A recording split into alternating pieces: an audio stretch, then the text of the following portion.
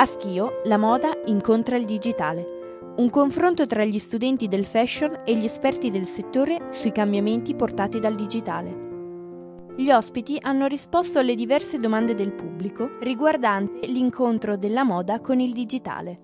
Location dell'evento il Lanificio Conte, importante per l'archeologia industriale, era composto da un'area di 3 ettari, delimitata da alte mura, nella quale erano presenti l'opificio originale, la residenza e il parco padronale. Dal 1860 l'opificio e l'area furono soggetti a importanti modifiche a causa dello sviluppo della vicina industria Rossi. Un'industria tessile importantissima e una delle più grandi d'Italia nella seconda metà dell'Ottocento.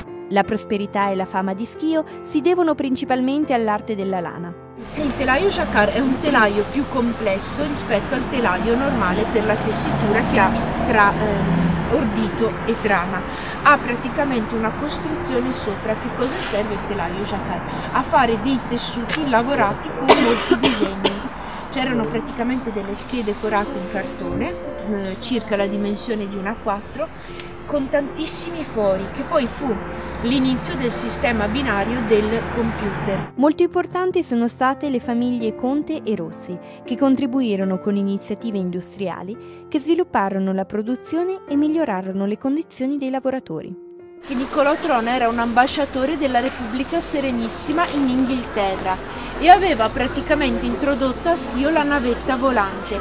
La navetta volante è uno strumento che nel telaio praticamente porta il filo di trama da una parte all'altra. Famoso è anche il giardino Jacquard, con un ninfio creato dietro la serra. Scopo del giardino, quello di ospitare nuove strutture aziendali e collegare la città. Mettere insieme quello che sembra assoluta avanguardia, no? super contemporaneo come il digitale, in un posto che da, da secoli fa materialmente le cose, secondo me questo è dire, il simbolo per me perfetto per definire la terza rivoluzione industriale.